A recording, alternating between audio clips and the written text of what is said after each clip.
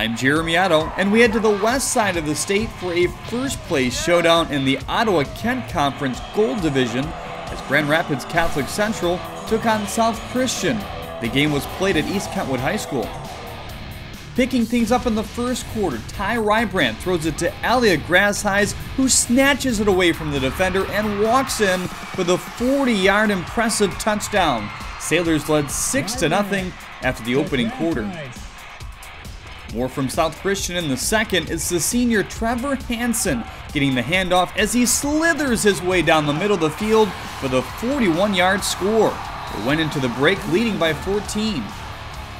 Back comes Catholic Central in the third, driving in the red zone, and it's Nick Holleran that weaves his way behind the blockers and bullies his way in for an 11 yard TD. Cougars now down by 7. Then, with under six to go in the quarter, GRCC would strike again. The junior Joey Silveri on the QB keeper runs through a crowd, spins off a few tackles, and rumbles his way in for the 32 yard tally, knotting the game up at 14 heading into the final stanza.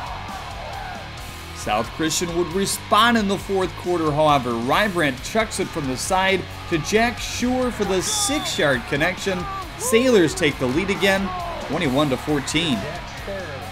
Catholic Central would tie it up and had this game-winning field goal attempt lined up with 4 seconds left, but Jack Barlow's 42-yard attempt is wide left. We were heading into overtime. Sailors would get the ball first in the extra session. Rybrandt on the quick slant pass to Eli Smith for the touchdown. They went for the extra point, but the attempt is blocked. South Christian now leads 27 to 21. Catholic Central getting the ball next. And check out Silveri again on the keeper as he utilizes a stiff arm and a long stretch to tie the game at 27.